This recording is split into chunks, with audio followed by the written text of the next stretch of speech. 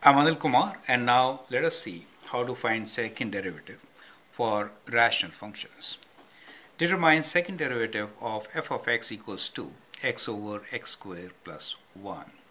So, so f of x is given to us as equals to x over x squared plus 1. Derivative f dash x. We can apply the quotient rule here and then find the derivative, right? So that means square of the denominator derivative of the first which is 1 times the second function which is x squared plus 1 minus first function which is a numerator times derivative of the denominator which is 2x right? So we could simplify this which is x squared plus 1 minus 2x square over x squared plus 1 whole square right? Now this could be written as 1 minus or you can say yeah it's better to write 1 minus x square in this case. Yeah divided by you could have written minus x square plus 1 also x square plus 1 whole square. Now this is the first derivative right? Now derivative of first derivative is the second derivative. So let's find the second derivative.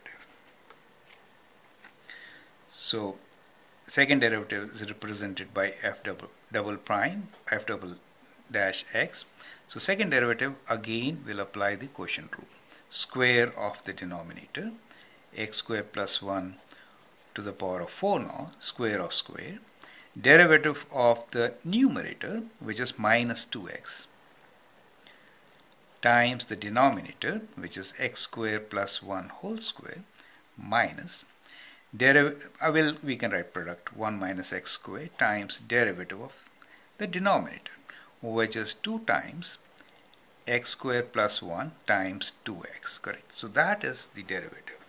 Now you can simplify this a bit and rewrite your expression right? So so what we have here is minus 2x times x square plus 1 whole square and here we can multiply 2 and 2 it gives us 4 so we get minus 4x and we have 1 minus x squared times x squared plus 1 and the denominator is x squared plus 1 to the power of 4.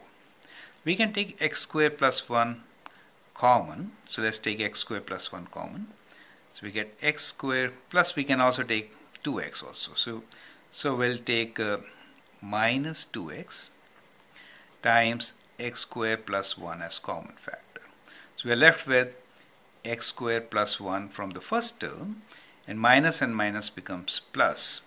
We already taken minus 2 so 2 remains here times x squared plus 1. That has been taken common 1 minus x squared right so 1 minus x squared divided by x squared plus 1 to the power of 4.